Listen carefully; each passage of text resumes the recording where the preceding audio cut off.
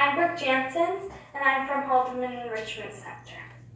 I have always felt very strongly about animal rights and cruelty to animals, which is why I decided to do my speech on animal testing.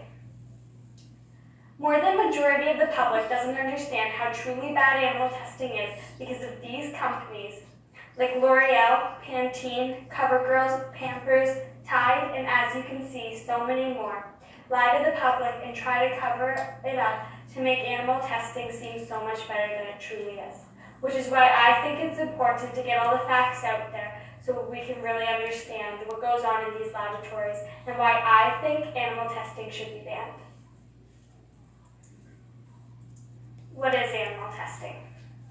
An animal test is any scientific experiment or test in which a live animal is forced to undergo something that is likely to cause them pain, suffering, distress, or lasting harm. An animal experiment is not the same as taking your companion animal to the vet. Animals used in laboratories are deliberately harmed, not for their own good, and are usually killed at the end of the experiment.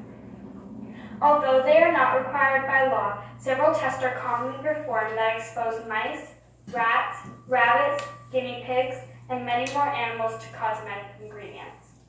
Most animal tests include skin and eye irritation tests, where chemicals are rubbed onto shaved skin or dripped into the eyes of a restrained rabbit without any pain relief.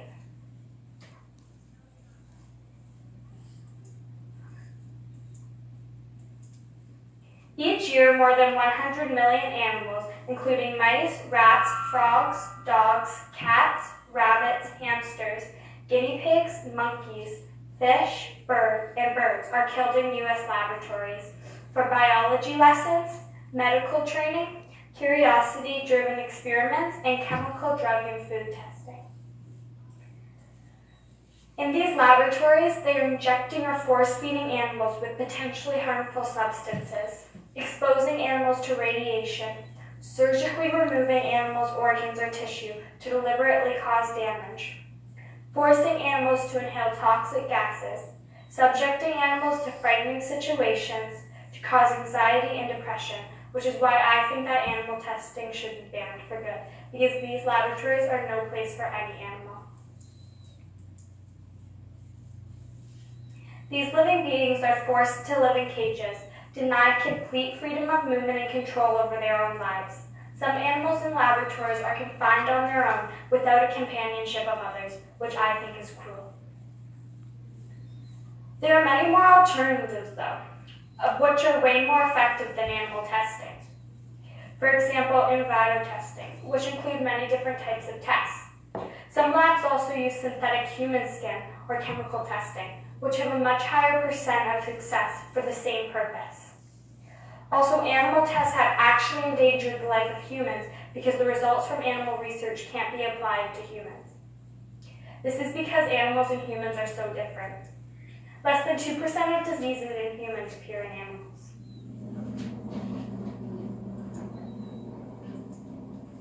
There are many ways you can help stop animal testing and help the hundreds of animals being killed each day, though, by signing a petition at change.org or donating to websites like PETA or Mercy for Animals. You can also watch what you buy to make sure that the product you are buying has one of these three symbols on it.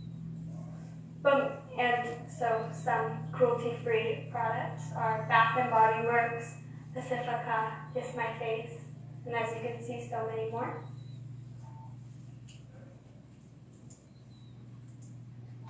So in conclusion, we have learned that animal testing is inhumane, and now that there are alternatives to this, there's no reason for anyone to still commit this act. So today I ask you, why are we still testing on animals?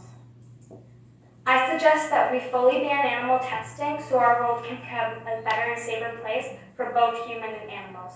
Thank you.